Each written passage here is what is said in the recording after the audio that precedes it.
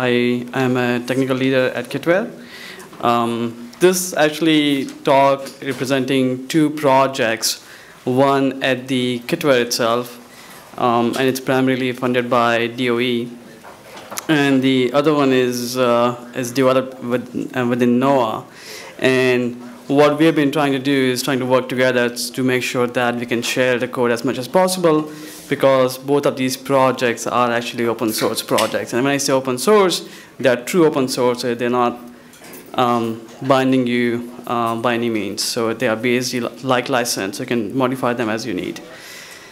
Um, so really quickly about Kitware. Kitware is primarily a open source company. And the idea there is that by doing open source, we try to build collaboration with the universities, um, national labs, and other organizations. So, um, you know, by making the code out there, it's much it's much easier for us to work with the other folks.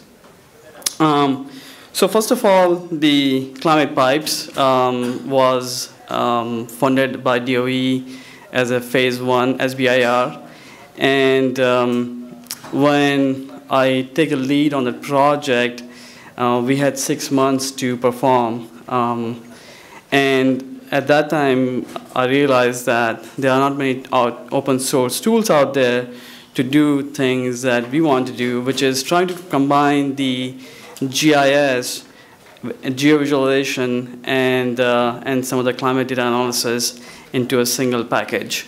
So the idea um, behind the Climate Pipes that we build something with a Python backend and a JavaScript front end that let you create some interesting um, interactive or batch mode visualization and analysis um, in, a, in a web browser or a command line mode. So, like I said, the goal is to bring the web GIS, and um, GIS is, a, is actually not a new field. Um, and so is not WebGIS either, but with the improvements in JavaScript and uh, um, you know other hardware and softwares, I think uh, the WebGIS is really changing how we look at the data, um, um you know, um, in a in a collaborative environment. So here's the big overview of the Climate Pipes architecture. Uh, it does involve a lot of uh, different toolkits, uh, but they all are open source. So again, they're not binding by any means. The idea here is that you will have a web server uh, that's taking a request and then performing uh, operations based on the request on HPC or your own local workstation and produce some um, output. Now, the interesting piece here is that um, we construct the workflows, which is based on VisTrails. Um, VisTrails is developed at NYU, and they are actually um, partner in the Climate Pipes project. So the idea here is that we construct the workflows that get executed on the server side, and then we bring those results back to the web browser for visualization. And that can be done either interactive or we can do as, as just sending the uh, images back from the server. So the different pieces involved in Climate Pipes are um, the front end side, we actually built our own tools. Um, the most important one is the GeoJS, and that's really the, um, the geo visualization library.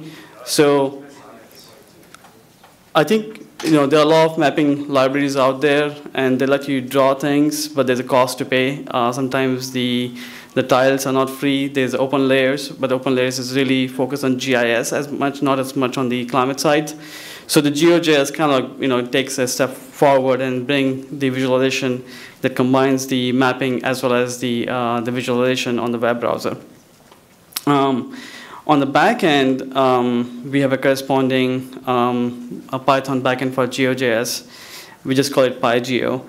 And then the, some of the fundamental tools we use on the back end are um, VTK, um, which is uh, developed by Kitware, um, Open Climate GIS, which is a NOAA um, uh, project, the UVCDAT, uh, which is the uh, DOE uh, big initiative, and uh, some of the other tools that um, um, Matthew has mentioned earlier, like GDAL and uh, Proj4.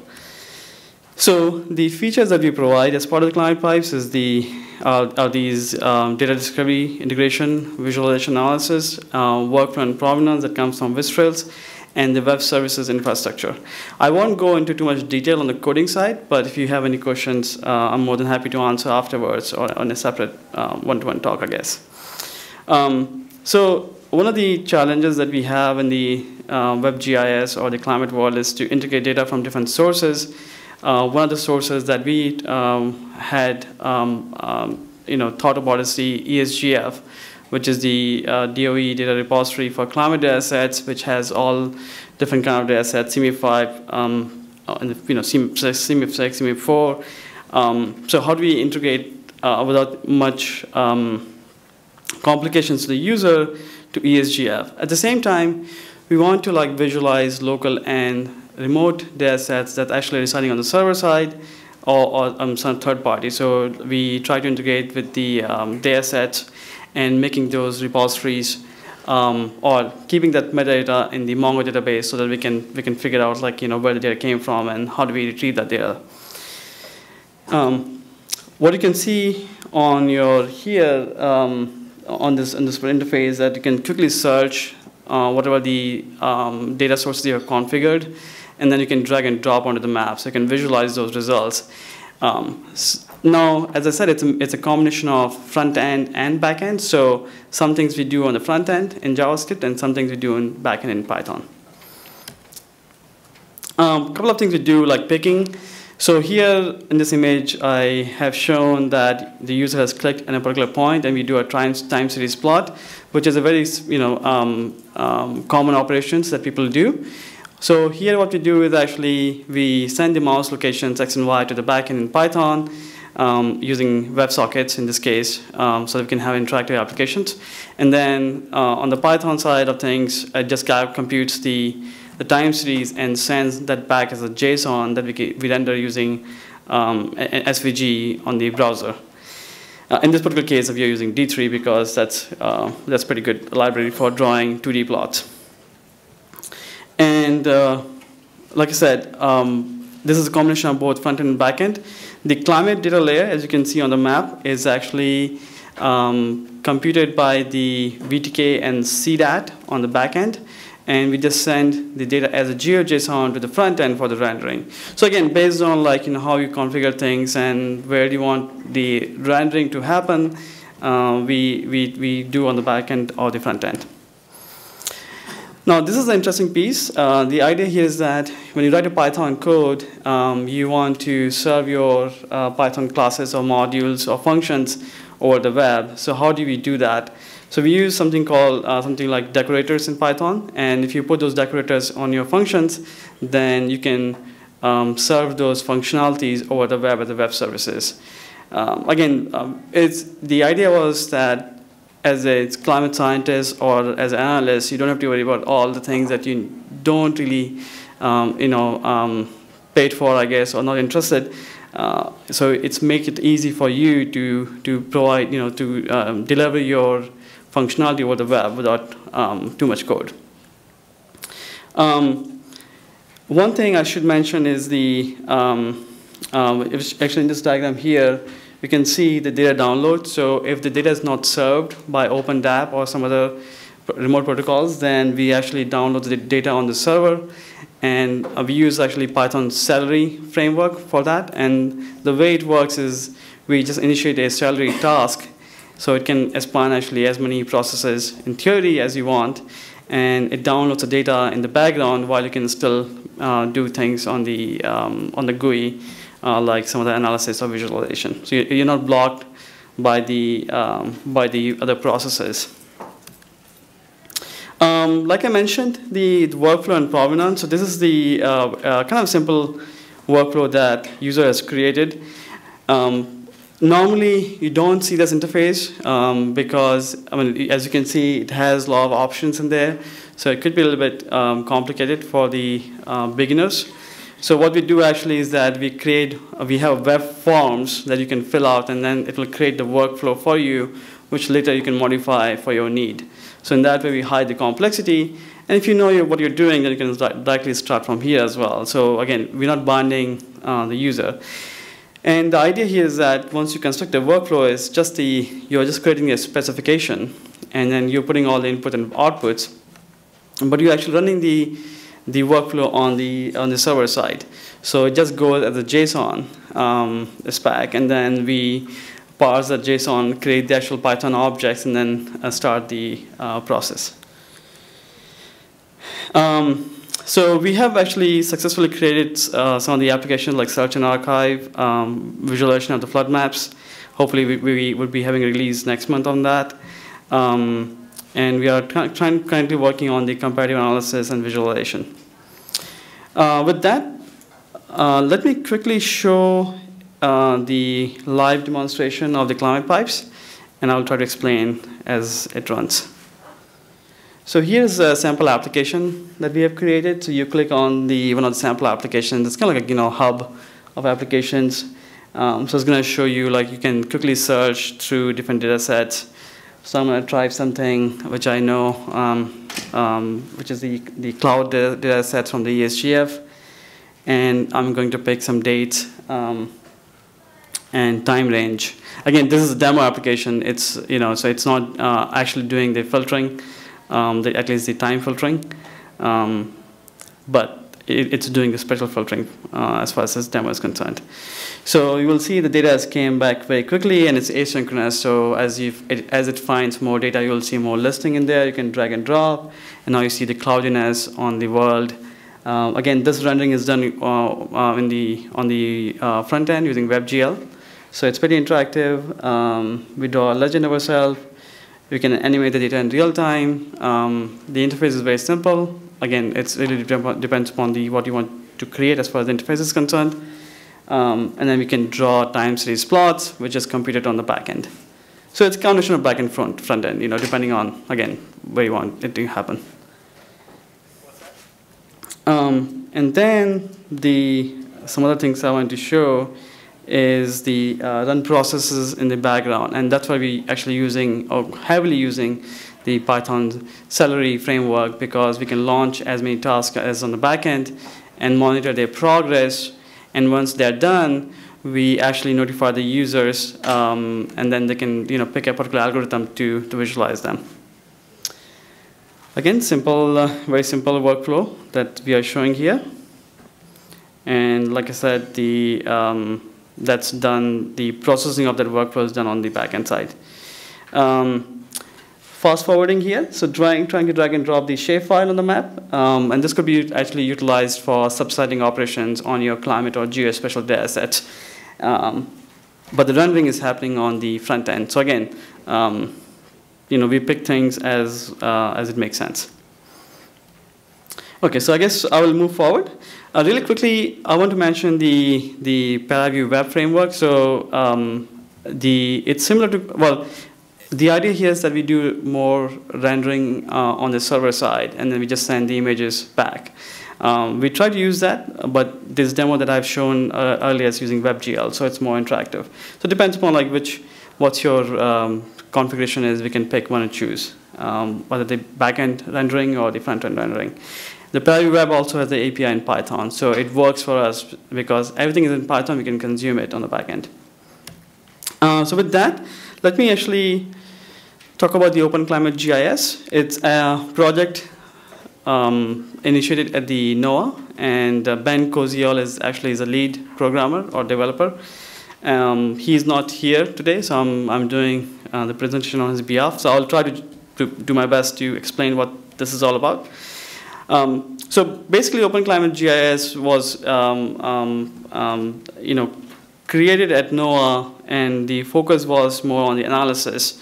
And some of the example, you know, analysis they wanted to do was subsetting computations, uh, data set bundling, format conversions, and extensibility. So um, it kind of like fits in really well with the Climate Pipes environment, and that's why we try to use it.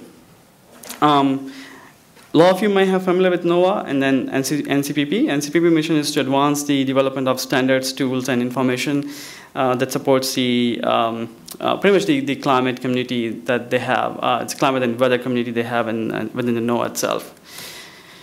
So the Open Climate GIS uh, has been developed again um, within the Python environment, and it's using um, some of the uh, you know tools that we all know, like um, NumPy, um, uh, netcdf for Python, along with Shapely and Fiona for the um, geometry processing and the data writing, along with the uh, the uh, Python wrapped version of GDAL, um, and some other optional util utilities for specific things. So it can do uh, multiple things. It can translate out of the climate data formats. It can um, select region of interest and then do subsetting on based on that. You can select the, uh, the time region. You can select the labels. Um, and also you can actually select the headers that needs to be written, out if you're doing a format conversions. So the current release is, uh, actually this slide is a bit older. I think, I think they, have released um, 0.1. Um, so it's, it's, it's functional and, and, we have been using it in Climate Pipes as well. So the, the basic structure is this. Um, so we have the Python API. Um, so OpenClimate GIS has its own um, analysis algorithms, but it also wraps quite a few of other libraries, like I was mentioning earlier, um, the names of the libraries. So it has a data interface, so it uses netcdf for Python to read netcdf files, NumPy for processing, and subsetting along with Shapely, uh, Shapely for the geometry processing. Um, and then it's using NumPy for storage and computations along with the um, unit conversions using CF units Python. And ultimately, it's using the, um, the uh, Fiona and GDAL for the format conversion. So again, it's using um, uh, few open source tools and wrap them around in a nice way so that it makes it easier for you to use it. Um, so one of the nice things about the OpenClimate GIS is it handles many types of geospatial subsetting. So points, arbitrary polygons, bounding boxes, collection of points and polygons. So pretty much the general operations that you will expect from a toolkit like this has, has been supported. Um, the most of the uh, work that's been done right now, and that, that's a limitation, but it will be, uh, I think um, it may go away in future very soon, is that it's done serially, so it's, uh, it's not parallelized yet, but the idea is to, that some of these tasks, or most of these tasks, you can, you can parallelize using um, MPFFI or some other um, parallel techniques. Um, so some other um, um, computation, computational frame, um, framework is consists of the um, some of the temporally um, grouped functions. You can do monthly means, annual maximums, durations. You can also define some strings-based functions, um, simple transformations, uh, and then multivariate functions like indices. So you can actually, I believe it has already existing some some climate indices, but you can add more as you need. Uh, the dataset bundling is the idea here is that you can, you can run a particular set of operations on a variety of different data sets. So it will um, take care of all the conversions um, within the uh, framework itself. So you don't have to worry about like those things uh, as a user. Now, as far as the, the format uh, conversion is concerned, so for the GIS, one of the important things is that uh, most of the GIS libraries or tools, they expect that you will get the data in the Esri shapefile or some other other raster formats, and most of the climate data set is netcdf, or if it's weather, then it's GRIB or some other format which is not GIS friendly. So one of the uh, nice things that uh, delivered by the OpenClimate GIS is a very simple function call that can convert a format into a GIS friendly format, including CSV, GeoJSON, netcdf. Um, as reshape files or something array based, which can be again visualized into any of the toolkits like matplotlib or anything like that. Um, I guess uh, this is probably my last slide. So uh, as I was mentioning, uh, one of the goals for the Open Climate GIS to uh, extend uh, the framework and also make it parallel. Um, and we do actually have support for the ESMF, which is the, the regridding uh, framework within the Climate Pipes, but it's not been done into the uh, Open Climate GIS yet, so hopefully that'll be done soon enough. With that, thanks a lot.